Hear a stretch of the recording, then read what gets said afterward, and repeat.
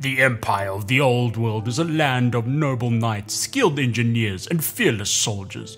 Amongst these elite forces are the Pistoliers, a fast and deadly cavalry unit equipped with pistols and half armor. These brave warriors are born into noble families and trained in the art of horsemanship and warfare from a young age. Skilled in the hit and run tactics against opposing armies, they charge on swift steeds, pistols blazing. During their training, they are sent to the Pistol Corps, which is a prestigious military organization where they are trained by grizzled veterans called Outriders in the proper art of war. Their daring exploits and courageous deeds live on, a testament to the elite forces of the Empire. So next time you see a band of pistoliers charging towards the enemy, remember their bravery and pride.